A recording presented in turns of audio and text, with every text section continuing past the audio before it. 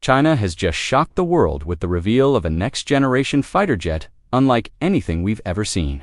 This futuristic aircraft can fly from Beijing to New York in under two hours reaching speeds once considered physically impossible, but that's not the most astonishing part. This jet can do it silently. No roar, no boom. Just pure, undetectable flight making. It potentially the stealthiest warplane ever created. So how fast is this mysterious aircraft?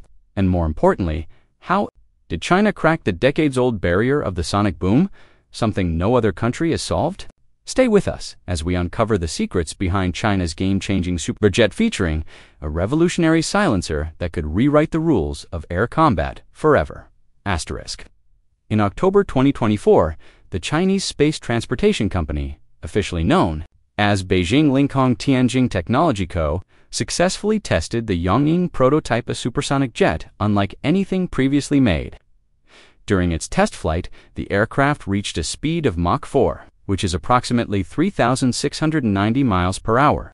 As fast as the now retired Concorde, this breakthrough demonstrated that ultra-fast travel could dramatically reduce flight times without compromising efficiency.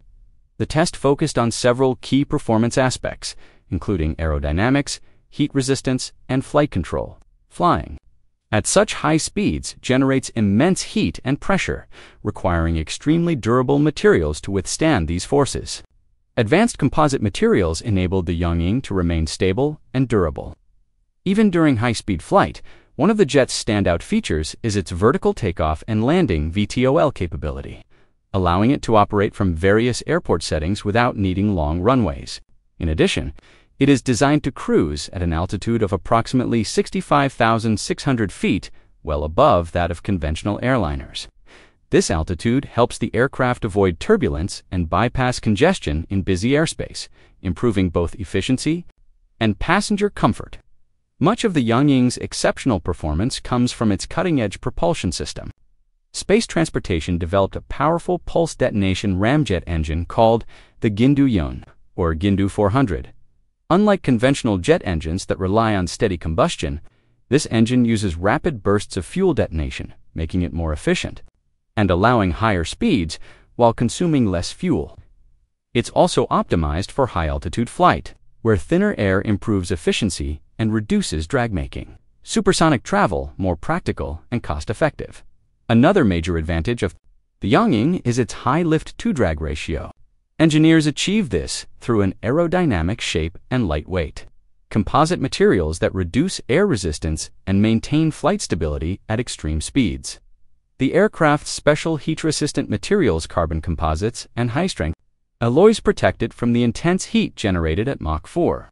Furthermore, the jet features an advanced noise reduction system aimed at minimizing the sonic boom, which was one of the major drawbacks of the Concorde and a key factor in its retirement. Yongying's capabilities far exceed those of the Concorde, the legendary Anglo-French supersonic jet that operated from 1976 to 2003.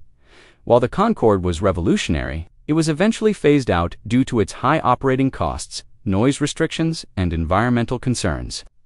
It could cross the Atlantic at Mach 2 in under four hours impressive, but still not fast or efficient enough for widespread adoption. In contrast, the Yang Ying is twice as fast and is emerging as a frontrunner in the revival of supersonic air travel, thanks to breakthroughs in propulsion and materials. China aims to make supersonic flights quieter, more affordable, and environmentally sustainable. Other companies are also pushing toward the return of supersonic passenger planes. For instance, the American firm Boom Supersonic is developing the Overture, a jet expected to reach Mach 2.2 and restart transatlantic, supersonic flights by 2029. While Overture represents a significant step forward, the Yongying's greater speed and efficiency make it the most ambitious player in the new supersonic race. Yet, challenges remain before it can be used for commercial aviation. One of the main issues is the environmental impact. Supersonic jets tend to emit more pollutants than regular commercial planes, making the development of cleaner fuel alternatives crucial. Space transportation is addressing this by researching eco-friendly fuels and next-gen propulsion systems to lower carbon emissions. Another concern is noise pollution. Breaking the sound barrier creates a loud sonic boom, which has led to restrictions on overland supersonic flights. To address this, the company is developing advanced noise reduction technologies that may allow the Yongying to fly over populated areas without disruption. Safety is another top priority. Flying at Mach 4 presents unique risks, requiring extensive testing and robust safety systems. Space transportation is investing in high tech flight control systems, emergency response mechanisms, and advanced cabin pressurization. Their goal is to make supersonic travel as safe, for safer than today's standard airliners. The company plans to continue engine testing through the next few years, aiming to launch a full sized passenger version of the Yongying by 2027 if successful. This jet could revolutionize global travel, drastically reducing flight times and making distant destinations more accessible than ever. A major goal for the Yongying project is commercial viability. In the past, supersonic travel was prohibitively expensive and limited to elite passengers. However, with new advances in efficiency and aerodynamics, there's hope that high speed travel could become affordable to a broader range of travelers. Space transportation envisions a future where supersonic flights are not just a luxury but a routine part of air travel. This project also carries huge geopolitical weight. China's rapid aerospace advancements demonstrate its intention to compete directly with Western aviation giants like Boeing and Airbus. Leading in supersonic technology could give China a powerful role in shaping the future of commercial aviation. Beyond supersonic travel, China has achieved another significant breakthrough. In hypersonic flight, it recently revealed that its newly developed Injinan Oblique detonation engine, ODE, has reached operational speeds of up to Mach 16. This engine runs on standard aviation, kerosene, and has undergone extensive testing at the JF-12 Shock tunnel in Beijing.